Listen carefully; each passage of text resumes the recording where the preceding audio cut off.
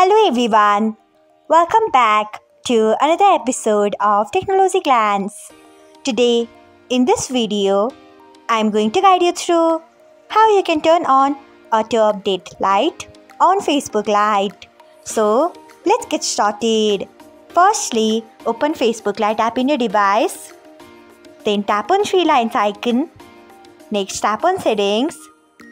After that, tap on Facebook Lite updates Next, you can see the option of Auto Update Lite. Turn on it by tapping on it.